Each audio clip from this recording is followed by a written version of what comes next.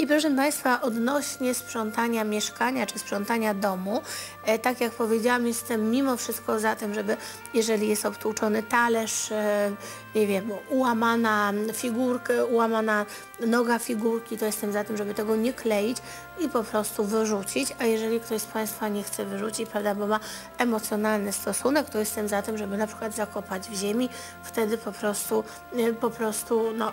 nie jest to tak, taki, taki, bym powiedziała, akt nieludzki, w cudzysłowie, wyrzucając do śmietnika czegoś wartościowego, ale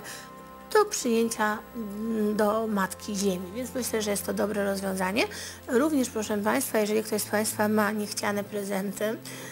na które na przykład nie może, nie może, nie może, nie może patrzeć, a niestety tak często się zdarza, e, to proszę Państwa, co zrobić z takimi prezentami? E, Ja zazwyczaj no, staram się tego nie robić, ale jeżeli tak jest, to staram się do, do pojemnika na przykład PCK e, oddać e, albo gdzieś, gdzieś, nie wiem, położyć na ławce e, z taką intencją, że jeżeli ktoś to znajdzie, to będzie mu służyło i ktoś znajdzie, e, kto to znajdzie, będzie to dla niego cenna, fajna rzecz, która będzie jego e,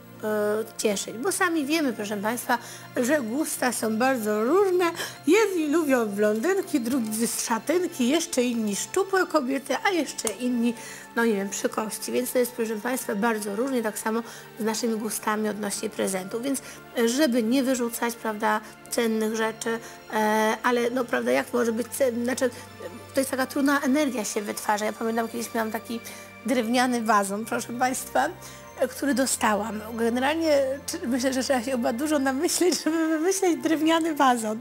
I proszę Państwa, z jednej strony dostałam to mm, e, od osób, które bardzo, bardzo lubię, naprawdę. I też z taką, bym powiedziała, piękną intencją, ale po prostu na ten drewniany wazon nie do końca mogłam patrzeć i po prostu oddałam komuś, komu służył, kto z, z, z taką dobrą y, energią e, na ten wazon patrzy. Myślę, że jeżeli mamy takie rzeczy, to również oddawajmy. I proszę Państwa, ważna rzecz, o której no, dawno nie mówiłam, jeżeli ktoś z Państwa ma ubrania, w których nie chodzi długi okres czasu, to również jestem za tym, żeby komuś je oddać, żeby służyły, a wiadomo, im więcej dajemy, tym więcej do nas przychodzi.